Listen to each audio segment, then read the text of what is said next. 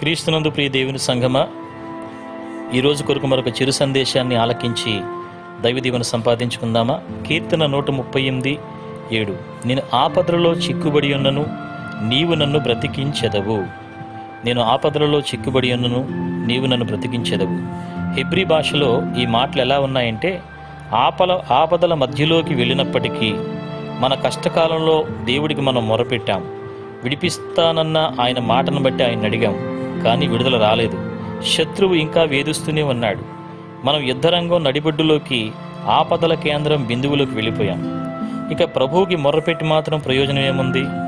Martha అంది కదా ప్రభువా నీవు ఇక్కడ ఉన్నట్టయితే నా తమ్ముడు చనిపోయేవాడు కాదు.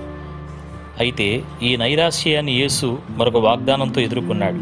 నీ తమ్ముడు తిరిగి బ్రతుకుతాడు.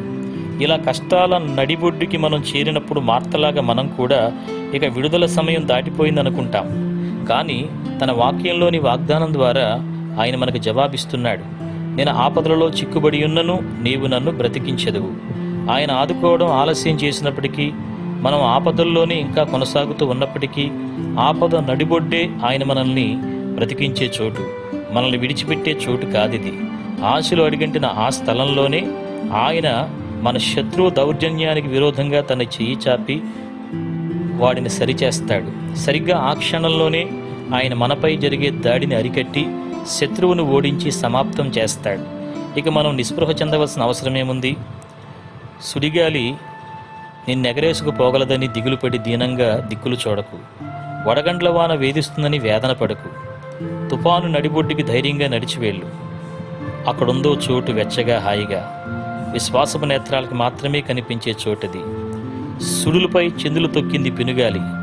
దుష్టశక్తులు పొర్లిపారై కట్టెలు తెంచుకుని కొండల్లా అలలగిసపడ్డాయి. వాన పడగా అవనిని మూసింది.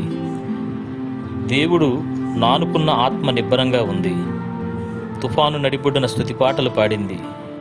పెను చీకటిలో ఆశలను ఆర్పేయవద్దు. పెనుగాలికి కొంతకాలం చిరుదీపం ఆరినా చీకటి వెనకాల పెనుతారలు వెలుగుతున్నాయి. తండ్రి ప్రేమ ఇస్తుంది నీకింకా ఆకాశ దీపాల కాంతి చీకటి పొరల్ని చీల్చుకుని పైపైకి దృష్టి సారించు.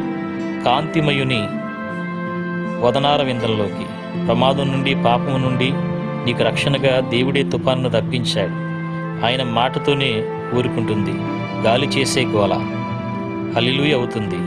అందుకనే తుఫాను మబ్బులు పెడితే ఉత్సహించు. తుఫాను నడిబుడ్డిలో దేవుని చిరునవ్వే నీకు తోడు. కావున దేవుని బిడలారా మనం ఎన్ని ఆపదల్లో చిక్కుబడి ఉన్నా ఆ స్థలంలోనే దేవుడు మనల్ని బ్రతికిస్తాడు.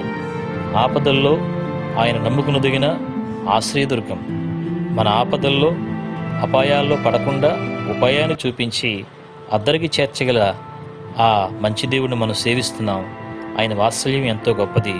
మనల్ని అన్ని రకాల ఆపదల్లో నుంచి విడిపించి నిత్య జీవంలోకి నడిపించి ఆయన మాట మీద సంపూర్ణంగా అనుకుని ముందుకు సాగిపోదాం. అట్టి కృపలో దేవుడు మిమ్మల్ని మీ కుటుంబాల్ని నడిపించునుగాక. దేవుని కృపా సమాధానాలు మీకు తోడయిండునుగాక ఆమెన్.